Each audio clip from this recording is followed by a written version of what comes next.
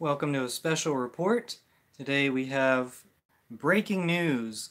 Uh, former Cardinal McCarrick has been criminally charged in Massachusetts. And uh, this was an allegation from the 1970s, 1974 to be exact. Uh, there was a 16 year old boy at the time that was accusing McCarrick um, of misconduct. And the reason why this is big news is because this is the first criminal charge that's come against McCarrick statute of limitations was taking place in a lot of other states. The statute of limitations means that you cannot, you, you cannot, uh, I guess, charge someone criminally for something that was done um, so a number of decades ago. So, like 30 years ago, it might, you know, the statute of limitations might expire. It varies state by state, but um, yeah, here it is. So Massachusetts, there's a technicality in the statute of limitations, and it is because McCarrick was not a resident of Massachusetts, and uh, that's why we have the technicality. So this is going to be good. And what this means for the actual court cases is that McCarrick is going to receive a subpoena from uh, the judge or in the court, and he's going to be forced to appear in court or else go to jail, which it looks like uh, if he's found guilty, he will go to jail anyway, but that would be after the court case. Now, let me take a look and see what, uh, see if there's anything that says. I have a few links down below.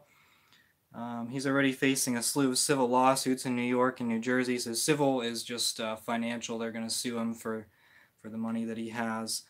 But uh, yeah, the, the criminal charges are what we're really concerned about. Uh, it says criminal, yeah, the, the statute of limitations has been expired. And so let's also take a look here. Okay, so that's pretty much it. Um, so let, us take a look at what's going to actually happen with this. So McCarrick's 91 years old. Uh, he has a lawyer, and his lawyers make money based off of um, how long they re they represent him. So I guess he, he's going to get a monthly bill from the lawyers. So they have they're in the best interest of delaying uh, it's in the best interest of the McCarrick and the lawyers to delay this as long as possible. Now, if he goes to court uh, and he gets found guilty, he could go to jail.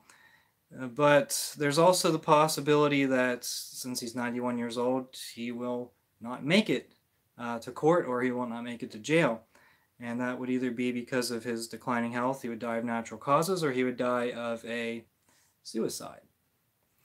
And we all we're all familiar with you know high profile figures that are facing jail time, and they have information, they have dirt on other people, but they somehow uh, decide to commit suicide. And uh, there's there's certain examples of that, but um, but yeah, I'm sure you all are aware of that. And if McCarrick does die before the court case occurs, then a lot of this information that he has or someone else has will not be released publicly and it really comes down to what the the victims uh, what the victims priorities are in this case.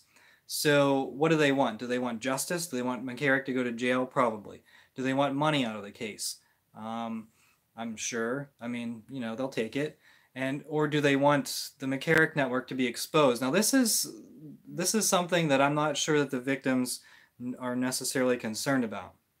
And they should be and I know that myself, along with all the viewers, are certainly concerned about the McCarrick Network being uh, rooted out of the church, and it's very going to be a very long and painful process.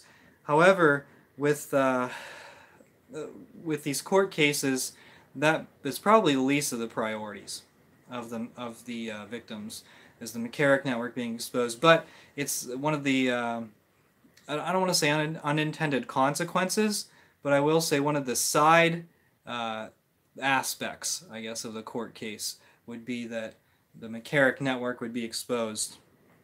So, with the um, with all of this, with, with the court case, the potential that McCarrick even goes to court, it certainly would be good for the church because it would expose the McCarrick network. However, if he dies, then it's not going to happen.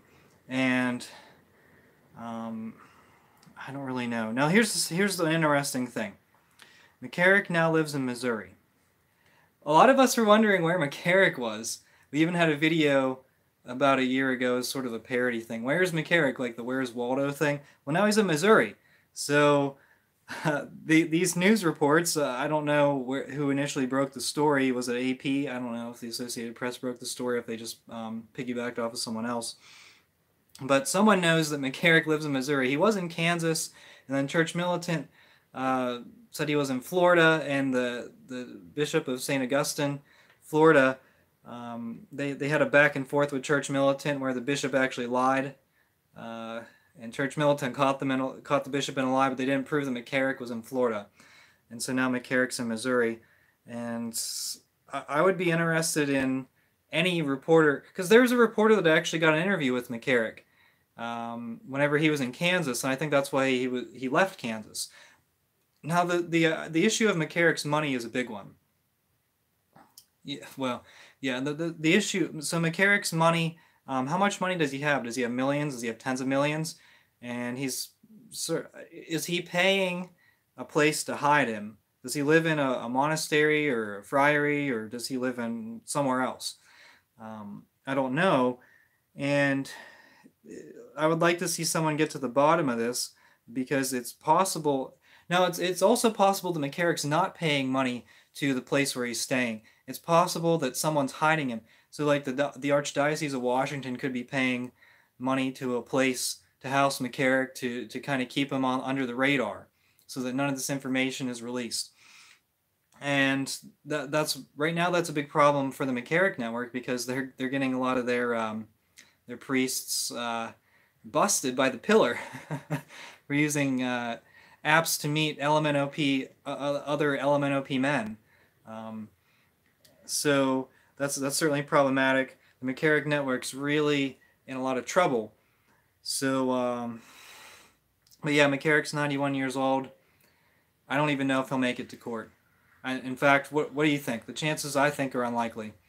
So this has been breaking news. I don't have anything else on this. So uh, I just I like to break these stories whenever they come up. This is a really interesting one, and hopefully someone will investigate McCarrick um, his whereabouts in Missouri and maybe get some interviews, get some uh, information from him. We'd like to know where the money's at, who, um, you know, what the money, what's what's involved, uh, who's involved with the money, and who was promoted because of McCarrick's influence. So um, hopefully someone comes up with that. Thank you so much for watching. We are the laity. We will not be silent.